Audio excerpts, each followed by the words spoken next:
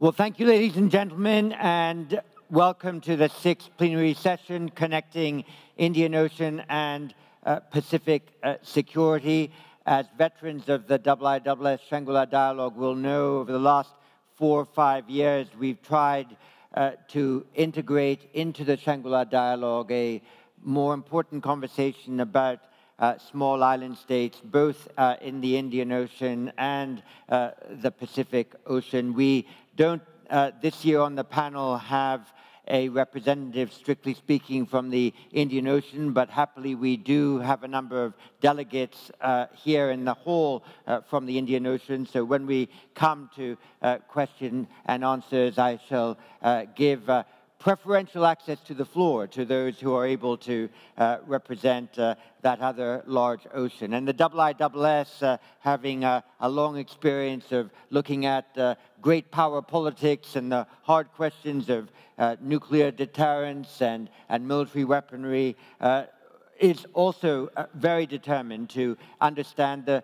the very specific security concerns that uh, island states have that are not limited only to the iconic question of climate change, but to all sorts of other issues that I know our three panelists here will, uh, in their own way, uh, address. And I will ask them to address us in the order that they appear on your digital agenda. We're delighted to have uh, first to speak in a moment uh, Sutin Klungsang, the Minister of uh, Defense of uh, Thailand. Uh, Thailand for uh, 20 years has been a, a, consistent supporter of the IISS Shangri-La Dialogue, and I thank you, uh, Mr. Minister, for being with us uh, for this whole uh, weekend. I'm delighted also that we will have with us Judith Collins, King's Counsel, Minister of Defence of New Zealand, and as is often the case with New Zealand ministers carrying four or five other official uh, portfolios as well. Uh, she's a member of uh, the New Zealand Quad, uh, the Prime Minister, the Foreign Minister, the Defence Minister, and the Minister for Trade and Industry, who uh, are the four of them engaged in massive international travel to project uh, New Zealand's interests uh, around the world and to invite more people to take a return trip to New Zealand uh, from time to time. So I'm delighted that she's with us today. And of course, uh, Bill Blair, the Minister of National Defense of Canada, uh, a, a, country that identifies as a Pacific nation, um, both in the literal and figurative sense uh, of the term. So we're delighted to have you with us as well. So with that, prefatory remark, please could I invite Minister Sutin to take the floor. Thank you.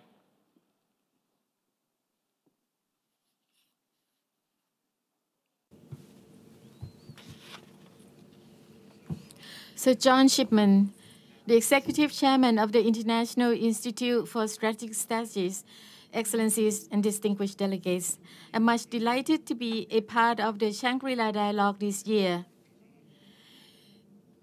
As I recognize that this has become the prominent strategic dialogue in the region, the participants have openly exchanged their perspectives and opinions, which will significantly contribute to fostering understanding and promoting security cooperation among us. I would like to express my gratitude and admiration towards the IISS and the Ministry of Defense of Singapore for continuously organizing the remarkably important forum. Especially, I am honored to have the opportunity to share my perspectives regarding connecting Indian Ocean and Pacific security.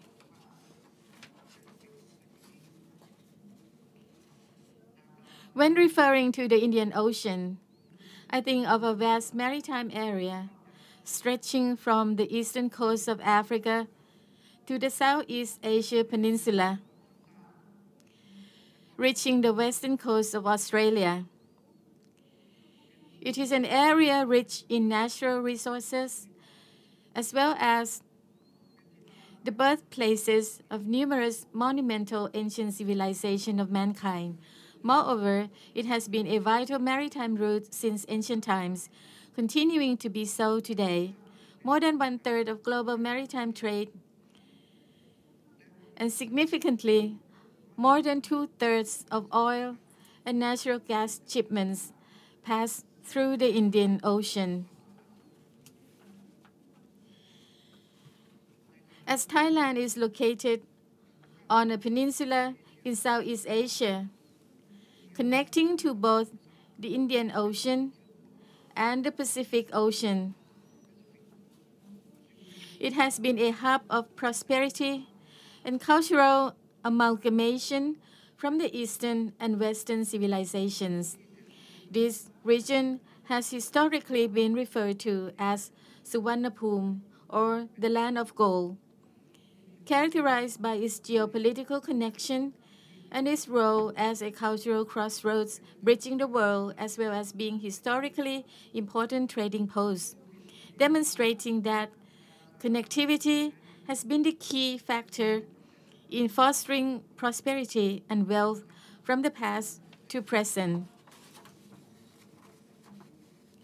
I do very much realize that every country has its own strategy to promote connectivity while there may be variation in implementation and approaches, I believe that we all share the same goal of fostering trade and people-to-people interactions, which are fundamental factors for the shared prosperity of the region.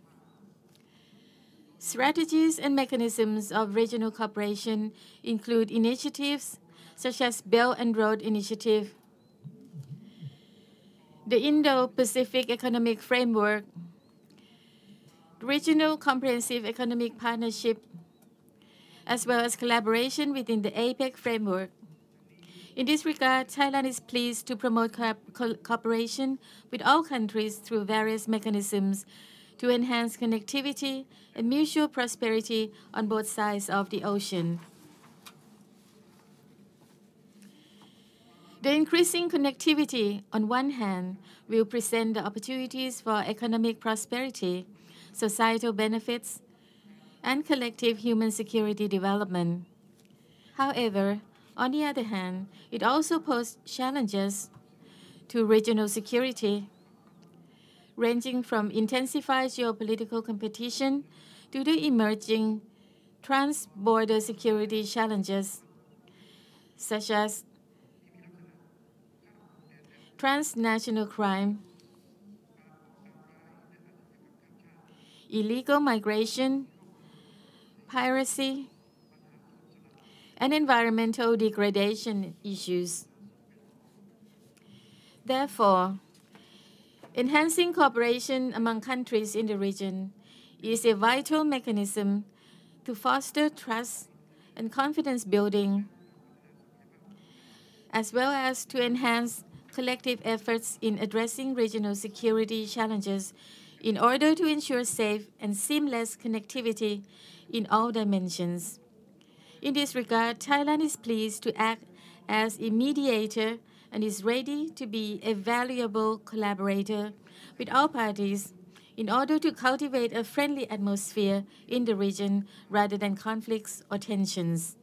We also aim to promote and support the cooperative mechanisms in border management to respond to the borderless, non-traditional security threats. Furthermore, I reaffirm our support of regional multilateral cooperation, particularly through the ASEAN-led mechanisms, and aspire to promote genuine cooperation based on mutual trust, mutual respect, and mutual benefits as well as openness, transparency, and inclusiveness from all parties. These principles are reflected in the ASEAN outlook on the Indo-Pacific. I do also support coordination and collaboration between the ASEAN-led mechanisms with regional and sub-regional cooperation frameworks such as Indian Ocean Rim Association, Bay of Bengal Initiative for Multi-Sectoral technical and economic cooperation, and Mekong cooperation framework, as well as other mechanisms in the Pacific region, including Pacific Island Forum, to strengthen relationships and to promote a more coordinated, integrated, and interconnected cooperative efforts.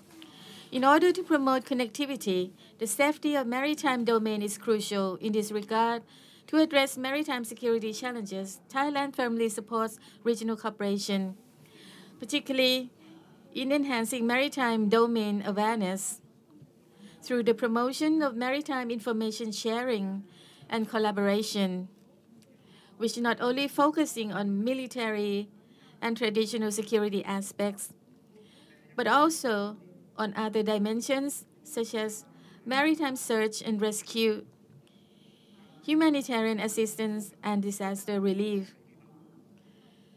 Climate change and maritime environmental issues, including illegal, unreported, and unregulated fishing, or IUU. Besides, I would like to take this opportunity to commend the Ministry of Defense of Singapore for the initiation and establishment of the Maritime Information Fusion Center, which carries on its duty effectively in collecting and sharing of maritime information that helps create a comprehensive regional maritime situation picture, as well as promptly facilitates coordinated responses to maritime threats. Thailand emphasizes regional maritime cooperation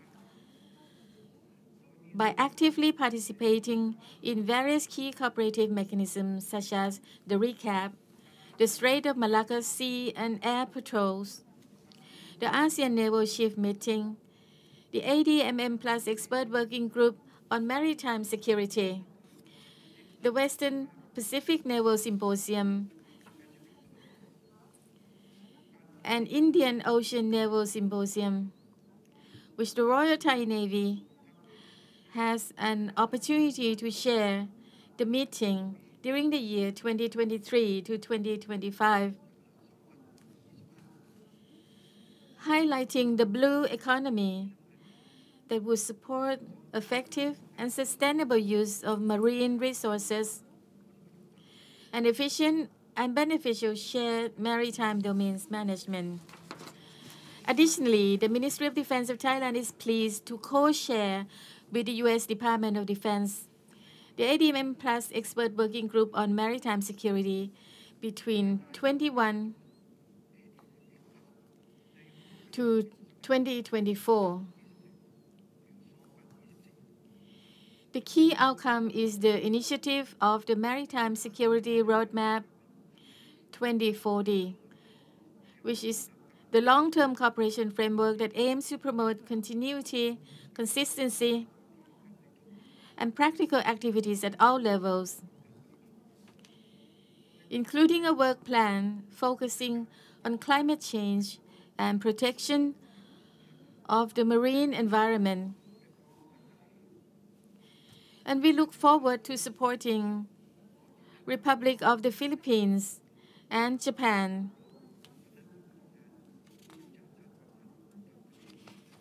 To further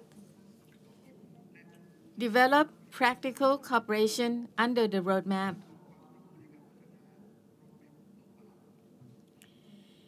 Distinguished delegates, when we talk about security challenges, it is not limited only to the military dimension.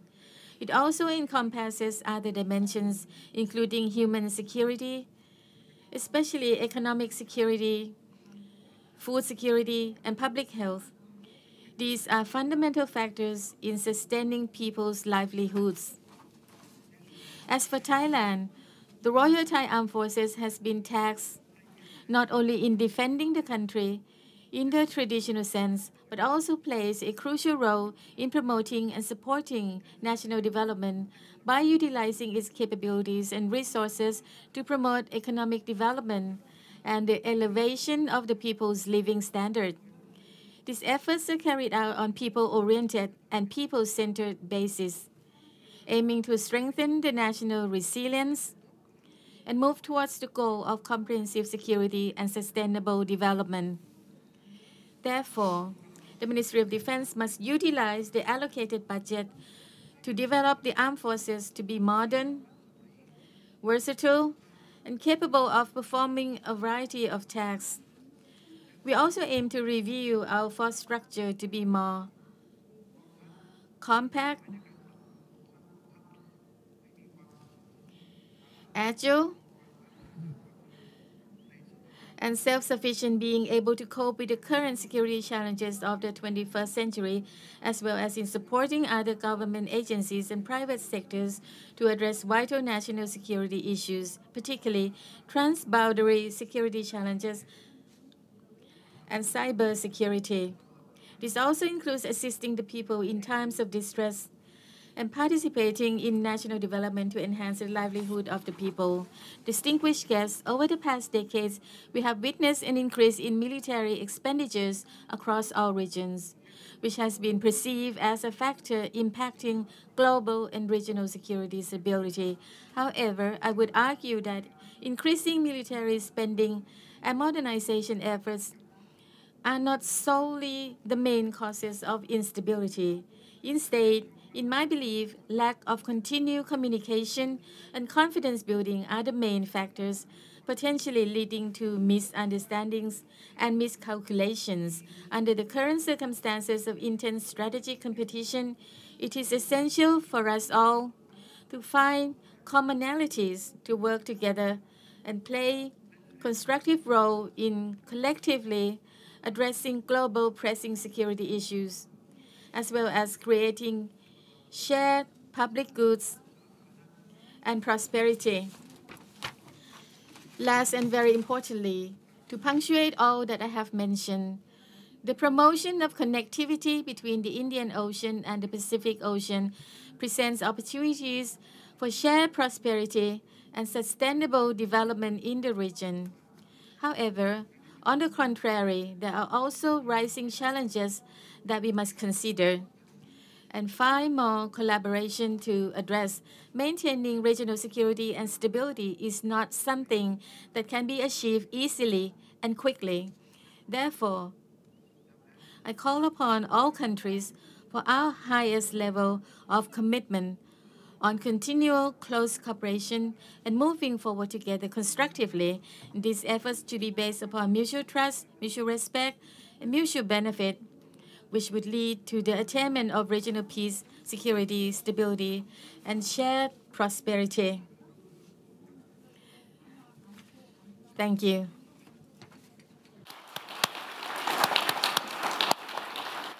Thank you very much, uh, Minister, and in particular for noting the uh, importance of the Maritime Fusion Center. We might in discussion want to uh, address the question of whether uh, the information that is gathered in the Maritime Fusion Center can also help uh, with policing issues like unregulated fishing and energy disputes in the area. So let's hold that uh, for the Q&A. But with that, could I invite Judith Collins to take the floor and give New Zealand's perspective on this issue.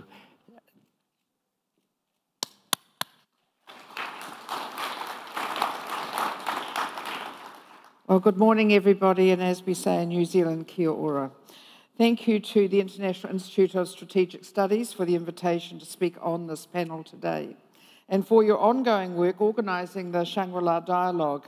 And it's great to be here today alongside my Thai and Canadian colleagues to discuss security connections across the wider Indo-Pacific. I'm so proud to be New Zealand's Minister of Defence, a role that brings me here today and among other roles, I am the Minister responsible for New Zealand's intelligence agencies, the Minister for Space, and the Minister for Science, Innovation and Technology.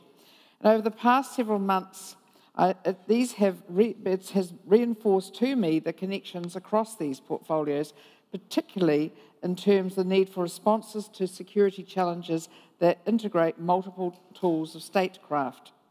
Similarly, the security challenges we face today across the Indo Pacific, while distinct in many ways, are also strongly connected. We may be a small state, relatively distant from the world geographically, but our people, people, culture, history, values, and interests connect us to our immediate Pacific region, to the wider Indo Pacific, and to the world at large. We know that our security and prosperity is connected to broader regional and global security and prosperity. The New Zealand government is determined to bring increased energy to our international engagements and activities to support collective security efforts. And I am focused on ensuring that New Zealand is an active and constructive partner and that the New Zealand Defence Force has the right capabilities to operate effectively on the international stage. New Zealand maintains long standing contributions to a number of multinational peacekeeping operations, notably in the Middle East and on the Korean Peninsula. And on the latter, I'm pleased to report that our new P 8A Poseidon aircraft has just completed its first mission, contributing to monitoring evasion of United Nations sanctions by North Korea. This is a continuation of our participation in this program since 2018 in opposition to North Korea's illegal nuclear and ballistic missile programs, which constitute a serious threat to stability in the Indo Pacific.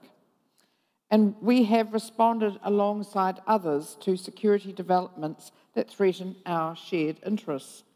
In addition to supporting Ukraine to defend itself against Russia's illegal invasion, we have contributed personnel to the multinational operations protecting maritime trade against Houthi attacks in the Red Sea.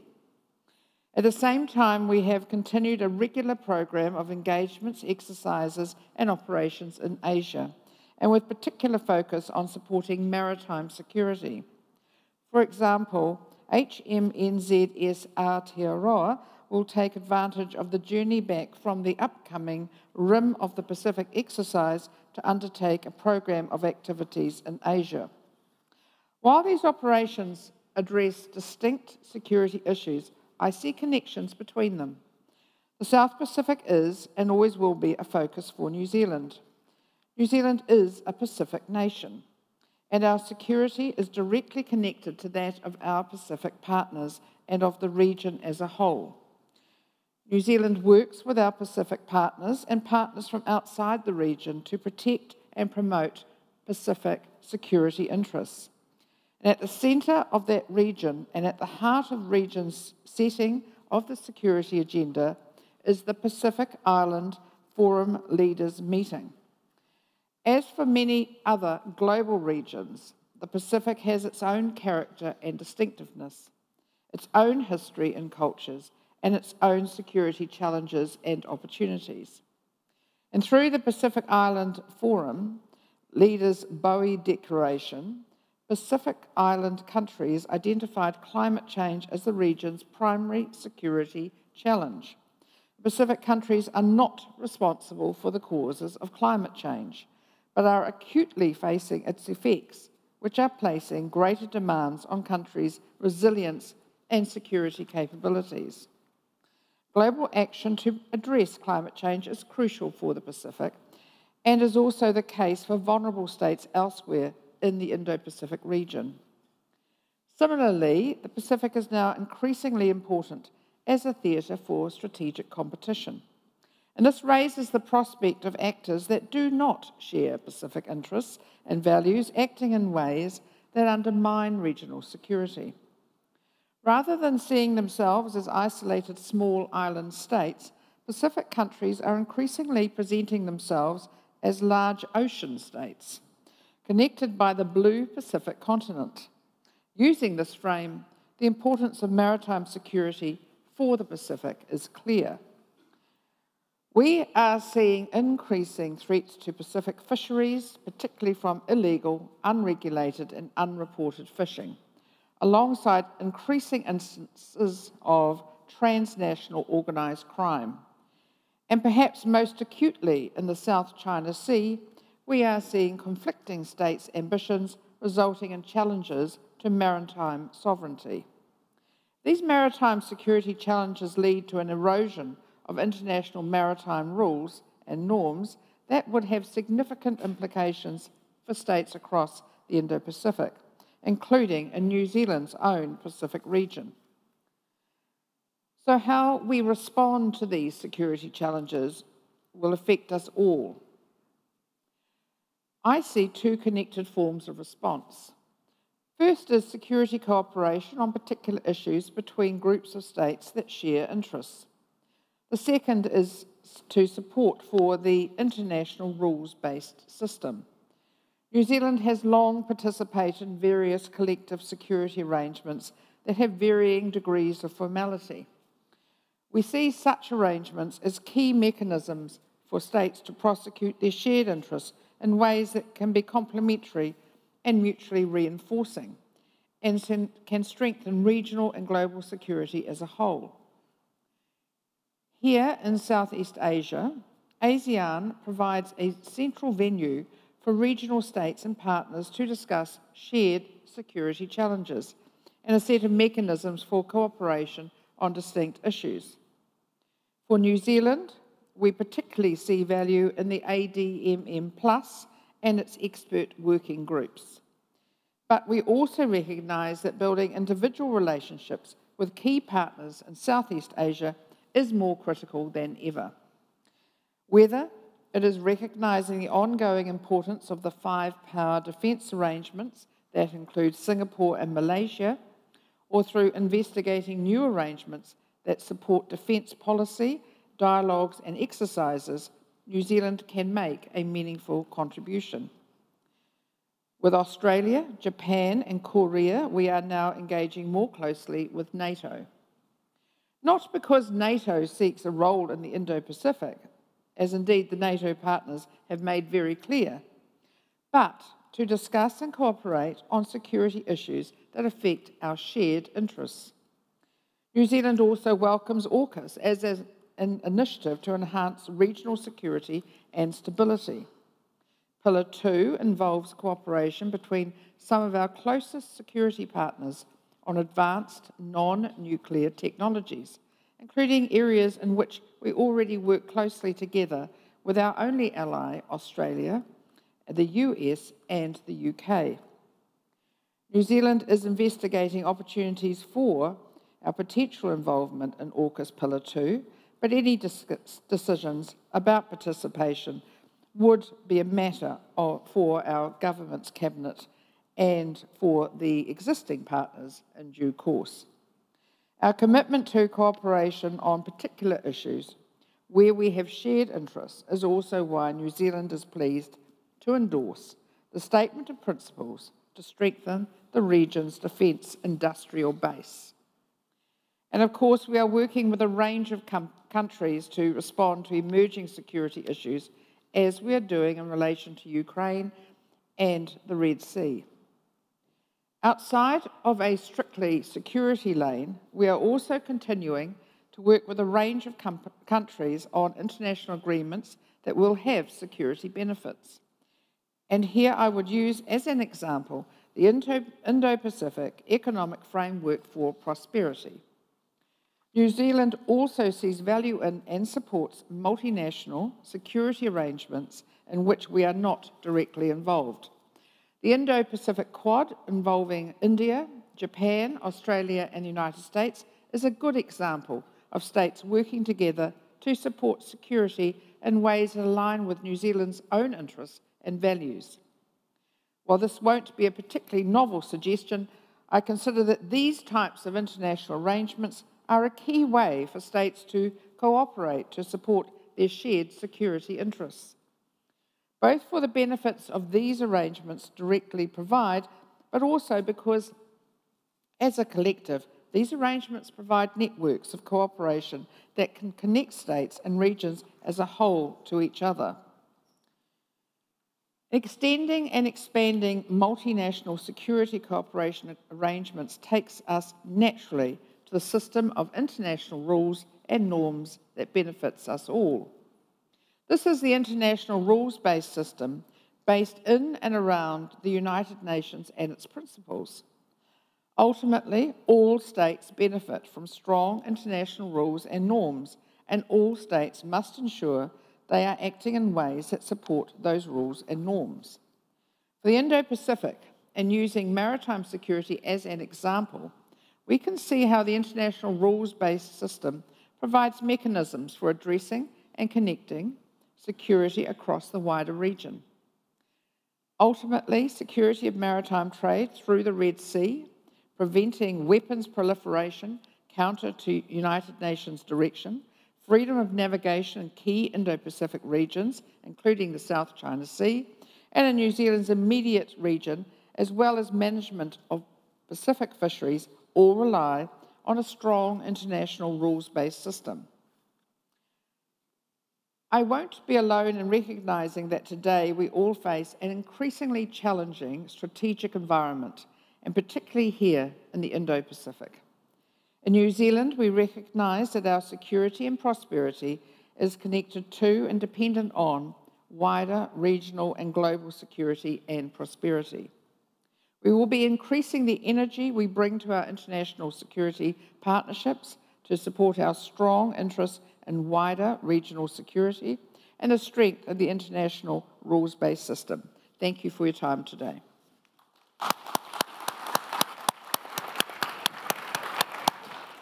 Thank you very much for drawing together so elegantly the very, uh, very distinct threads uh, of your assessment of the security in the region, and I think we should uh, uh, remind ourselves of that strategic personality of the small island states as large ocean states um, uh, as we um, carry the conversation forward. And I, I hope we'll have a chance to discuss whether the, the Pacific Island Forum uh, is content with the types of relationships it directly has with the, the COP process and how they're working towards COP29. So we wouldn't want to lose that important point. With that, could I invite the Defense Minister of Canada to address this plenary? Thank you very much, Bill.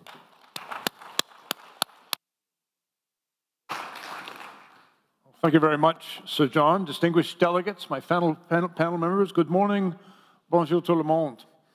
Uh, it is a great pleasure and an honor to be here at the 21st Shangri-La Dialogue as Canada's Minister of National Defence. This is my first trip to the Shangri-La Dialogue, but I have been extraordinarily impressed uh, by, the, by this gathering and its importance of collaboration. It's an emphasis on importance of collaboration and communication as we all work together to uphold peace and security in the two oceans that connect this vast and vital region. I want to take the opportunity as well to thank the IISS and Singapore for, for hosting this important dialogue. It has actually, for me personally, changed perceptions in a very material and important way, and I'm very grateful for the experience.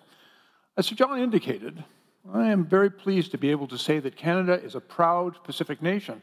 My country has a Pacific coastline stretching some 25,000 kilometers. And as a Pacific nation, Canada's future and prosperity is deeply tied to the stability and security of the entire Indo Pacific region. It is the fastest growing region by economy and by population, and it is Canada's second largest regional export market and trading partner. The ties between our peoples are strong.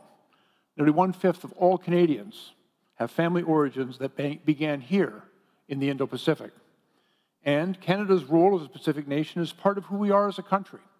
For that reason, a free, open, and inclusive Indo-Pacific is vital to our nation's future as well. We recognized a few years ago that we needed to be more present in this part of the world. It's one of the reasons we released Canada's Indo-Pacific Strategy back in 2022. That strategy is investing some $2.5 billion to increase our presence in the region, including over half a billion dollars to increase our security and defense ties. This investment allows us to increase our naval presence from two to three frigates deployed each year. It has enabled us to increase our participation in joint exercises, in a new military capacity building program, and we are being enabled to engage with regional partners in order to bolster cyber capabilities, to address issues of disaster risk reduction, emergency relief, and humanitarian assistance. Our partners and allies have told us that they need to see a more reliable and consistent partner. I want to assure you all that Canada is making the necessary investments, not only to be more present here, but to be an engaged and contributing partner to all of the very important initiatives that we have spoken about throughout this dialogue. Our presence here in the Indo Pacific runs deep. We have benefited tremendously from long standing engagements with the military in the region, and these relationships, as I have come to learn, are the strength of our ties.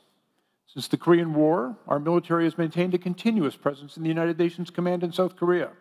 where today a very proud Canadian, Lieutenant, Lieutenant General Derek Macaulay, serves as its deputy commander. And through Operation Neon, we deploy aircraft and ships to monitor UN Security Council uh, sanctions ev evasion by North Korea, and we are present in the region today. For decades, we've been sharing expertise with our regional partners, particularly in Southeast Asia through our military training and cooperation program. And we want to do even more with partners in the region. Today, for example, I'm very pleased to confirm that Canada will join the new initiative on defense industrial base resilience in the Indo-Pacific that was announced earlier in this conference by Secretary of Defense Lloyd Austin. I would be remiss if I didn't take the opportunity to commend Secretary Austin for his extraordinary leadership in every theater of the world. This initiative is going to strengthen our collective security, and it's going to ensure that Canada, the United States, and all of our partners can harness innovation and reduce barriers to cooperation. It's going to help us build a more secure Indo-Pacific region and support our domestic defense industries. Now, if I may return to the theme of this panel, Canada is a trading nation, and our economy relies on a free, open, and inclusive Indo-Pacific. That's why, through our Indo-Pacific strategy, we are increasing our naval deployments in the region.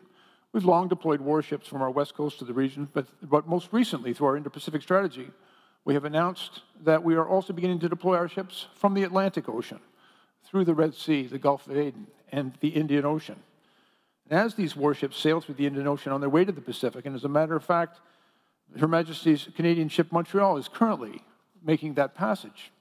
And at this moment, that ship and its crew are conducting a port visit at Port Klang in Malaysia, just up the coast. And in the coming days, that ship with its Canadian sailors will transit through the Strait of Malacca and onward towards the Pacific.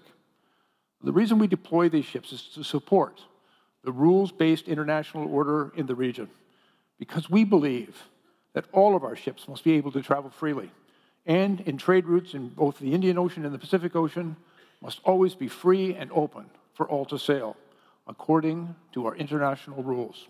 We must keep these two great oceans secure and connected by respecting the rules that govern conduct between nations. And the Montreal is not the is not the first. It is the first, but only the, the first of three. Excuse me, Canadian frigates that'll be in the region. And today, I'm also pleased to announce that this week the, the Canadian ship Vancouver will be departing our, from our Pacific coast to train later this month along the naval forces of 28 other countries through RIMPAC. We'll be deploying a supply ship Asterix on new Arctic and offshore patrol vessels, Max Bernays, and sending nearly 300 Canadian Armed Forces members in, into the region. And following these military exercises in Hawaii, Vancouver will then sail westward to, to perform its duties in the Indo-Pacific I'm very proud to also share with you that Royal Canadian Navy Commodore Christian Monahan will be commanding RIMPAC's entire maritime component this year, and I hope that for us that is a testament to Canada's commitment to leadership as we engage with all of our partners in the Indo-Pacific. In short, our Indo-Pacific strategy is intended to deliver results. We're conducting more port visits in your countries, we're participating more in multinational training exercises with your militaries, we're also expanding our military capacity and building upon efforts offering training programs that improve interoperability, and I think perhaps most importantly, given the very understandable concerns that, that the region has expressed with respect to climate change and climate-related emergencies and disasters, we believe there's great opportunity to continue to invest in humanitarian assistance, disaster uh, risk reduction, and emergency response. Now, nearly two months ago, our Prime Minister and I launched Canada's new defense policy, in which we've entitled it our North, strong and free. This policy takes note of some very significant geopolitical shifts that we are all facing, including the fact that our Arctic is becoming far more accessible as a result of climate change. And we anticipate that perhaps by 2050, the fastest shipping route between Europe and Asia will be through our Arctic. It takes note in our document of, Canada, of Russia's illegal and unprovoked war of aggression against Ukraine. I want to take this opportunity as well to assure both President Zelensky and Defense Minister Umerov that Canada will always stand with Ukraine until its victory. Our commitment to Ukraine is unwavering and unyielding, and that is why our Prime Minister will also reiterate that position at the upcoming Ukraine Peace Summit taking place in Switzerland in, on June 14th. But in addition to the, the Euro-Atlantic, our defense policy identifies the Indo-Pacific as one of the two priority regions for military presence for the very first time. Our presence in the region is, is critical. That's why our policy is going to be investing over $10 billion to sustain our naval fleets so that we can continue to, to deploy our ships into the region on a regular basis and be that reliable and dependable partner that our allies and friends have asked for. And this policy is very clear about the challenges we are facing. We know, for example, that some countries have been pursuing their own interests through behaviors that challenge existing laws and norms. And we believe that these actions contribute to rising instability and in increased risk of miscalculation and error.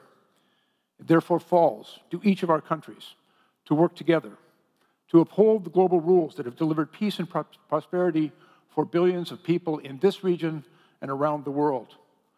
And we stand ready to engage with China, for example, and with all of our partners throughout the Indo Pacific to ensure a secure and stable region. I think the most important element of that engagement is strong communication between our defense institutions, and it is vital that, and to that end, I had the opportunity through this dialogue to engage with China's Defense Minister, Admiral Dong Jun. This was an important and welcome step. It has been over 11 years since Canada's Minister of National Defense sat at a table and had a discussion with their, their Chinese counterpart. It, is, it was long overdue. I can share with you some of the things that I expressed to the minister. I expressed our concern about China's recent military exercises around Taiwan and the, the potential provocation that that could result in. I also expressed concern about the growing economic support that China is supplying to Russia.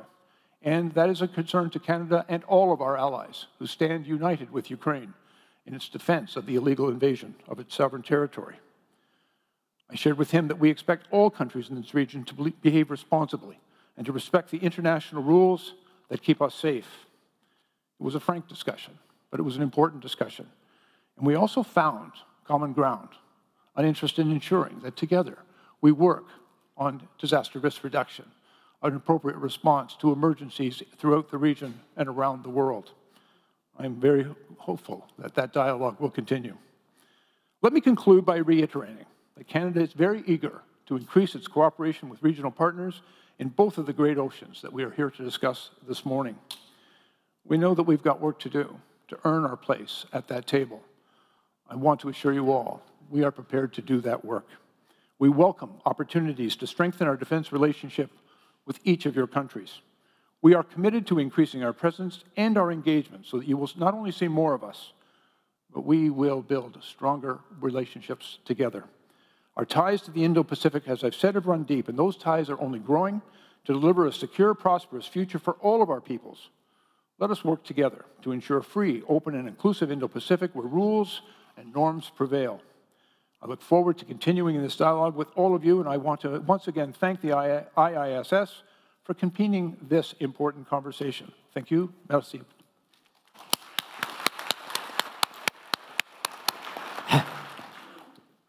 Merci beaucoup, Monsieur le Ministre. Um, thank you very much. My goodness, it is quite something to hear that it's been 11 years since the Canadian Defense Minister had a face-to-face -face meeting with the Chinese defense minister, but we are proud that we provided that opportunity today.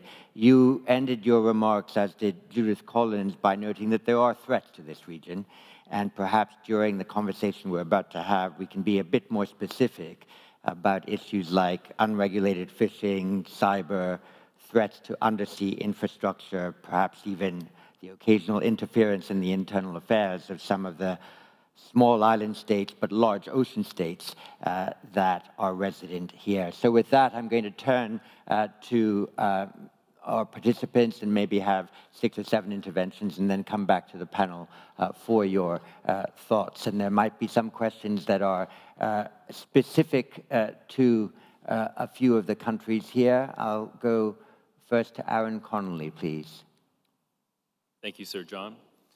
Minister Sutin, I wanted to ask you about the conflict in Myanmar and specifically the number of scam centers that have grown up uh, in the border areas with Thailand in Myanmar, some of which are connected to the Thai electricity grid or data networks.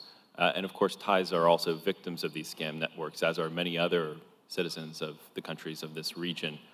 Uh, could you help us understand more about your efforts to combat these scam centers uh, through the Royal Thai Army's uh, uh, diplomacy with uh, non-state armed groups in Myanmar. Thank you. Thank you very much. Um, and from Malaysia, Benedict Weerasena. Good morning and sawadee um, I have two questions here, uh, Minister Sutin. First of all, as a non-claimant state of the South China Sea, uh, how does Thailand see its role, whether through the ASEAN mechanism or the ADMM Plus, or even other mechanisms uh, on the territorial disputes that is happening now in the South China Sea? So what is Thailand's role as a non-claimant state? Uh, and I have a second question for Minister Collins. Uh, I really echo your support for the international rules-based system, but yesterday, uh, the Deputy Prime Minister of Australia did actually bring out that there are imperfections with this uh, rules-based system.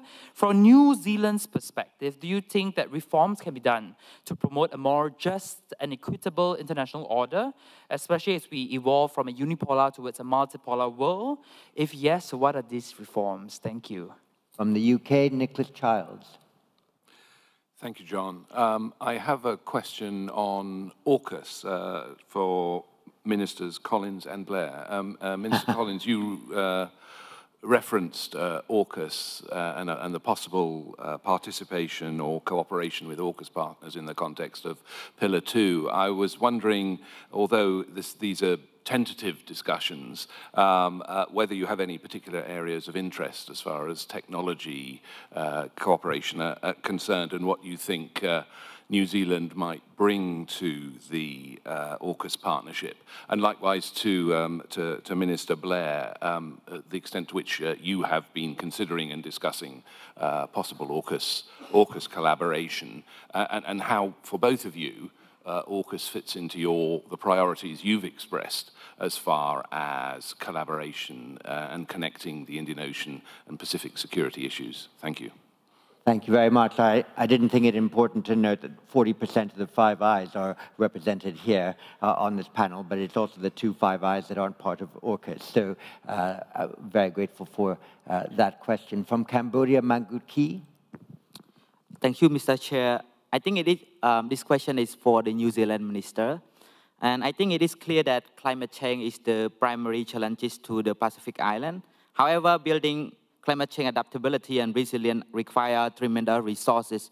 And recently, there, there has been some cases where China tried to provide and engage with those countries the resource that they need. So how does New Zealand government um, view in this regard? Thank you. Thank you. And from the U.S., Morgan Michaels. Thank you, Sir John.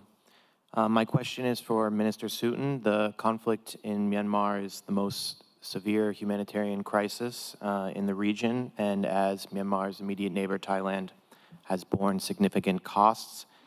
Uh, in addition to the armed violence, the military's recent conscription law has driven hundreds of thousands of Myanmar civilians to seek shelter or work opportunities in Thailand estimates uh, range, but there could be more than 4 million Myanmar people in total living in Thailand.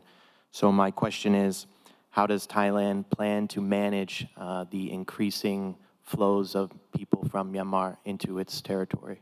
Thank you. And from Australia, Stephen Forshaw. Uh, thank, thank you, Sir John. Um, I have a question for all three of the ministers, if I may. Uh, all of your countries have quite an interesting space industry and capability. And I'm interested to understand how you see that industry playing a role in your um, Indian and Pacific Ocean strategy, given the huge uh, area of, uh, of water and, uh, and the islands in those territories. Do you see that space will provide an opportunity to integrate your security strategy with your industry base at home? Uh, and finally, in this round, uh, um, before I come back to the panel, I hope to get another round in from Thailand, uh, Suachani. All right. Thank you. Um, my question is to Minister Sutin. Thank you for your speech outlining Thailand's achievement and commitment to regional and international security.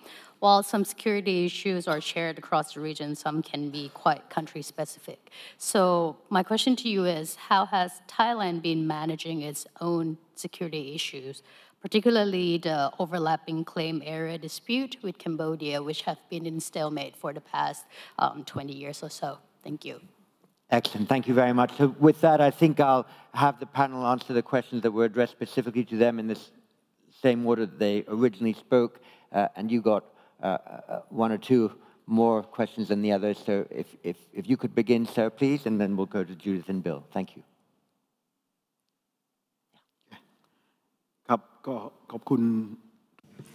Thank you for all the questions. I would like to answer the question on Myanmar situation. As you might be well aware that as an immediate neighbor with a shared border over 2,400 kilometers, therefore,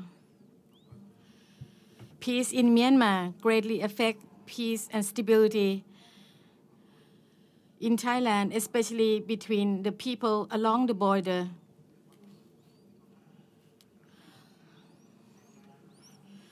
Whatever happened in Myanmar also most affected on the peace along the border. Therefore, Thailand closely monitor on the situation in Myanmar. We consider this is our responsibility. What we have done, we do adhere on the five-point consensus of ASEAN, which is an essential drivers to address the situation in Myanmar. But what we need to be aware of is to involve in their internal affairs. This is what we concern. It is their internal affairs, but it is our responsibility is to assist and provide humanitarian assistance. There is several numbers of Myanmar persons fleeing unrest are crossing into Thailand.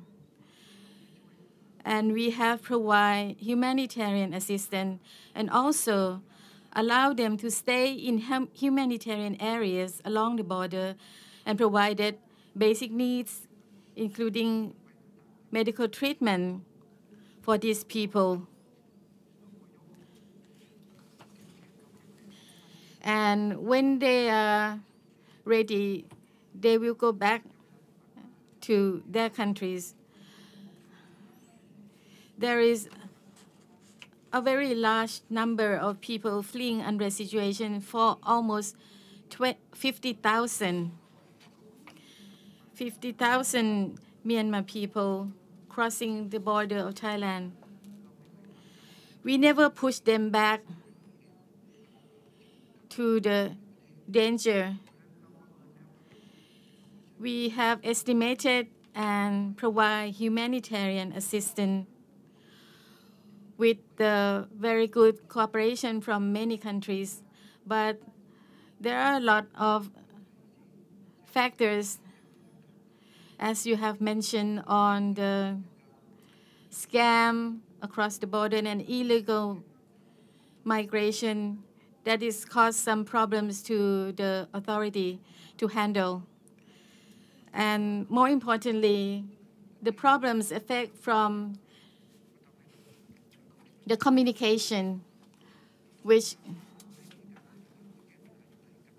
Thailand, we have tried our best to resolve the situation on the scam along the border.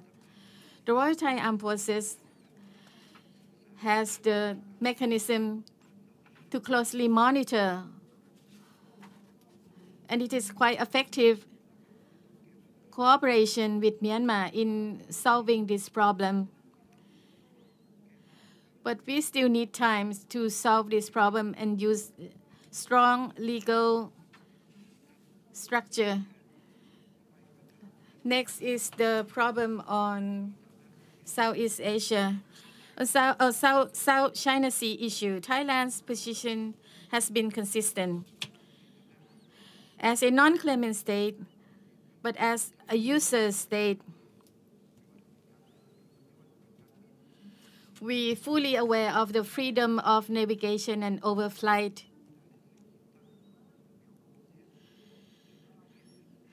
We do aware of the tension in South China Sea.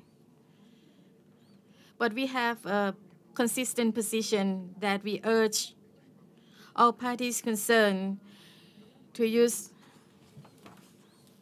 maximum restraint and avoid provocation. And we also we also encourage the code of conduct in South China Sea. And we will continue to support every step of implement, implementation of the code of conduct. We do hope that all parties concerned should aware of our concern on the issue in South China Sea and should return to implement and aware of the code of conduct. This will lead to the sustainable solution. Thank you. Thank you. Right, so there's several questions there, and I will do my best to amalgamate them. Um, the first question was around the rules-based order and basically do they need updating. It'd be really nice if people just sometimes stuck to the rules. That would be good. Um, rather than worrying about updating them. I really do feel that you know, we're part of a small advanced economy. Um, we're part of the multilateral approach to uh, rules and the way in which we conduct ourselves and our, our areas, our territories, our economic zones. And I do believe that they are uh, today the best that we have. And unless there's some a particular reason that we should change them, that we should leave them as they are until we have something better. Um, but the main thing is, if you've got the rules, follow them. Um, we, you've asked what, uh, there's a question about AUKUS and what could we bring. Well, it's pillar two, so it's uh, the technology side. We have uh, a significant technology sector and advanced aviation as well as space. In fact, recently when I was in the UK, I, I came across some of our New Zealand uh, businesses, technology businesses, working very closely with the Ministry of Defence. So clearly somebody thinks there's something that, that we could add. And, um, and I think they're doing very well with their advanced technology. So we do have a, a history of using technology to become an agricultural and horticultural giant um, I'm sure we can use technology to become a really good contributor in security as well. When you ask about the question about climate change for the Pacific, and the question was something around uh, that China's been trying to assist and uh, what else could be done, I think one of the best things that all nations could do in the Pacific, for the Pacific, is to treat the Pacific nations as peers uh, Pacific nations are not playthings for larger countries, including New Zealand. It's really important that we understand that every person in the Pacific, like everyone here in Southeast Asia and Singapore, has the right to self determination and need to be treated with respect. So, one of the best things that any nation could do when they're helping, wanting to help the Pacific with their climate change issues, which of course are not, not um, their fault at all, is to think about, to ask them what would be helpful to them, and therefore also whether or not they can afford it, and if not, what is the deal, and being upfront about it. There's no point having Pacific nations deeply in debt and no, with no way of repaying it. That is simply not respectful that is actually not helpful to the Pacific. So, issues around obviously resilience in terms of education, in terms of climate, but the other way that many nations could help the Pacific is to be respectful of their fishing rights. And as we hear always with the Pacific, the number one issue that comes up in defence in the Pacific is around illegal, unregulated fishing. And these Pacific nations, they often require assistance with monitoring that fishing, uh, those fishing, um, illegal fishing, and make, taking some action. And that's something where New Zealand can help out, and we do. And part of that is using uh, satellite technology, also uh, naval and uh, other ships, but also it's about actually asking them what it is they need, treating with respect, and understanding that um, might is not right. The other issue was around um, space. So, yes, well, New Zealand does have a space industry. Thank you very much for noting it. I thought that was an Australian accent too, asking it. Excellent. Um, last year, we had the fourth most successful launches in the world after the US, China, and Russia. And our industry at the moment is entirely uh, commercial. Uh, our industry is also wishing to grow further in the advanced aviation space, and that is uh, where we're moving to, as well as the vertical liftoffs. So, yes, we do have something to add. We do have abilities, being at that part of the world with no close neighbours, no neighbours to check with, nobody worrying about what we're doing, and we just get on with it. So, I am very proud of our space industry and very proud to be its minister. Thank you very much. Might I just um, press you on, on one other thing? Uh, you mentioned the Maritime uh, Fusion Center, and just now in your response, you said something about the importance of understanding what is going on on the surface of the sea with unregulated fishing and other activities. Do we know what's going on underneath the sea? I think some of us do. And what are the problems there? Well, I don't know that I can say, but I certainly probably do. with other roles. I mean, all joking aside, uh, we know that there's things going on. So there's obviously um, certain amounts of, of deep sea mining and other issues there. Those are for countries to take their own views on. But to be very frank, we have to be make sure that Pacific nations um, are not going to be uh, pillaged, basically, of their resources by countries who can do so uh, without the Pacific nations being able to do much about it. Thank so, in other words, just treat them with respect. Thank you very much. Bill. Yeah. Thank you, Sir John.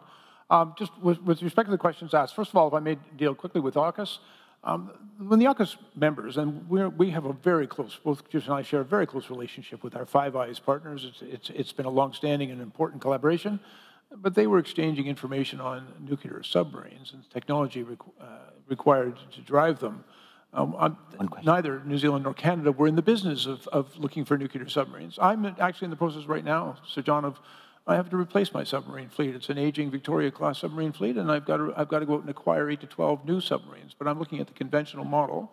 Um, but we also, with respect to AUKUS, we've, I've had a number of really useful conversations with our, with our allies and they're developing a framework. The AUKUS members are developing a framework so that on a case-by-case, project-by-project basis, they're quite willing to engage with others on, on the technology aspects.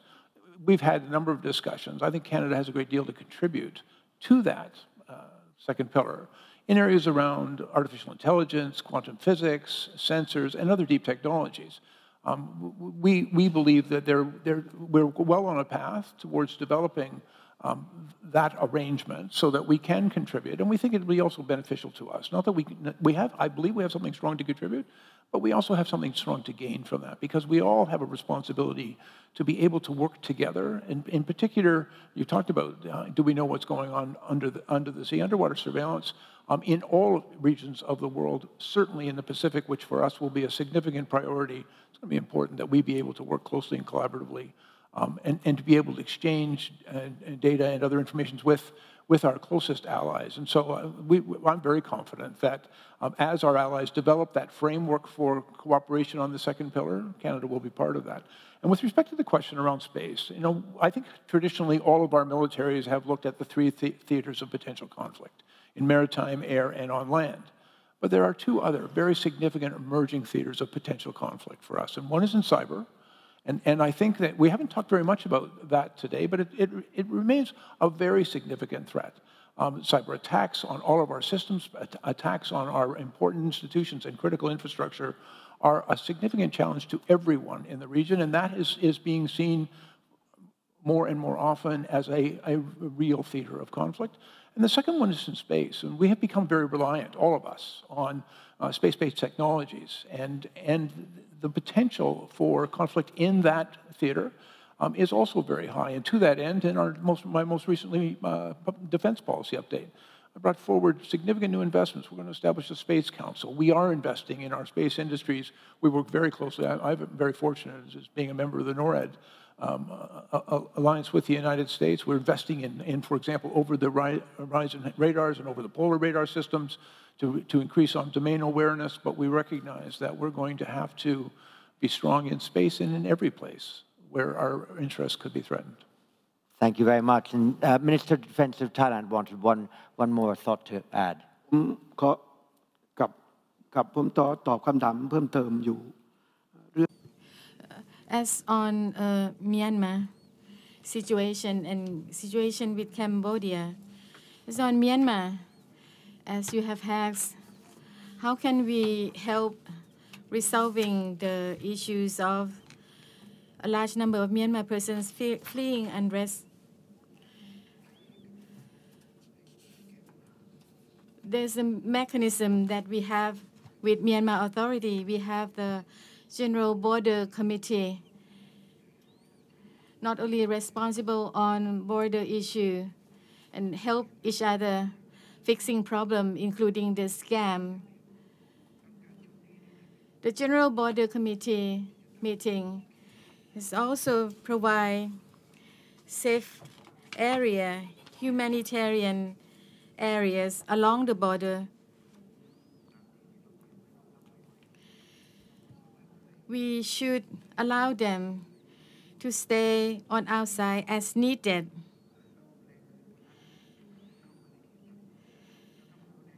If it is necessary, we will try to provide more and more shelter for the large number of people that might come across on the basis of humanitarian, as on the situation with Cambodia, on the issue of overlapping, we have been successful, and I would like this to set an example. We also have the General Border Committee. This committee have openly discussed between each other and we have a policy that we will change the area of awareness to become the area of peaceful coexistence, and we will help each other in demining, which is still the problem in the areas along the border, as well as promoting economy prosperity for the benefit of the people. There might be some emerging problems happen. The specific committee will be established to closely working together for peaceful resolution. This is quite a pleasant atmosphere and pleasant communication between Cambodia and Thailand. We perhaps for uh, quick notes, we're going to close at 11 o'clock exactly. We've got clocks up here. You've got watches. So let's see if we can do that. Jonathan Miller, first of Canada. Thank you, Sir John. Um, my question is for Minister Blair. Um, Minister, you spoke about Canada's support for the rules-based order and our initiatives under our new Indo-Pacific strategy, uh, and you also commented on your bilateral meeting with your Chinese counterpart and some of the positive outcomes of constructive dialogue. Yet the panel just before this, the Chinese Minister of Defense was vociferous in his criticism of Western support for the democratically elected government in Taiwan. Uh, can you comment on Canada's view, how Canada views its partnership with Taiwan, and elaborate a little bit more about concerns about uh, the Taiwan Strait situation? Thank you. And from India, Darshana Baruah. Thank you. Uh, thank you, Dr. Chipman. Uh, two questions. First to Minister from Thailand. Um, I'll keep it brief. I wanted to um, ask you about your views on if there's any serious consideration from the Thai government about developing the Kra Canal, which could significantly reduce travel time between Indian Ocean and African countries uh, to Southeast Asia and beyond. Um, you're one of the few countries with a coastline both on the Indian Ocean and South Pacific in how you leverage the geography. Um, my second question is to Minister from New Zealand. Um, I had a different question for you, but you mentioned deep sea mining. Uh, it's, uh, I think Pacific is going to be a key theater for this. The ISA's missed its deadline in deciding on the regulations and governance for it, and Pacific Islands are pretty divided on, on how to move forward on it. Uh, could you share your views on commercial extraction of minerals from the seabed and its implications on geopolitics and security? Thank you. Thank you very much. Virat Solanki. Thank you, Sir John. My question is for Ministers Collins and Blair. We heard a lot about your Pacific uh, Ocean strategy, but I'd be grateful to hear more about Canada and New Zealand's focus on the Indian Ocean. How much of a priority is the Indian Ocean for both of your countries, including relations with India? And could Canada and New Zealand seek to play a greater role in the sub-regional frameworks that uh, Minister Sutin mentioned, such as the Indian Ocean Rim Association and Indian Ocean Naval Symposium. Thank you. And from Indonesia, Andreas Aditya, Salim. Excellencies, thank you for the opportunity. Uh, first of all, highly appreciate this panel because of its tremendous attention to the ocean and maritime. As an Indonesian, I feel really connected to it. Uh, my question is uh, for Minister Collins and Minister Blair.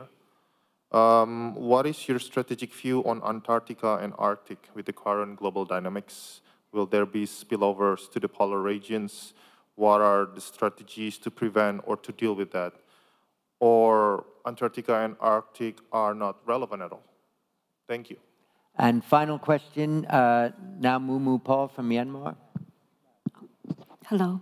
Um, my question is from uh, Ministers of Defense from Thailand. Um, I understand you have answer a lot of um, uh, answer many questions related to uh, Myanmar border issue. Um, and I also understand that um, our Myanmar, given uh, that situation in Myanmar, places a significant burden not only on the government of Thailand, but also the citizens of Thailand as well. So um, I would like to ask and my question is additionally, the, like uh, considering that some area are controlling by the other ethnic groups in um, in there, how they can collaborate with the Thailand to support like uh, people in the same place during a crisis. Thank you. Thank you very much.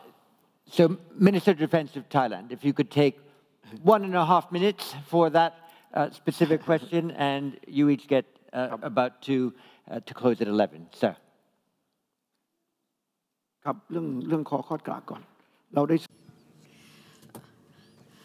as a issue of Kra Canal that uh, you have asked the question uh, Kra Canal might have uh, quite a major affected. Therefore we have a new project the land bridge project which we are currently conducting on feasibility study and planning of the land bridge project.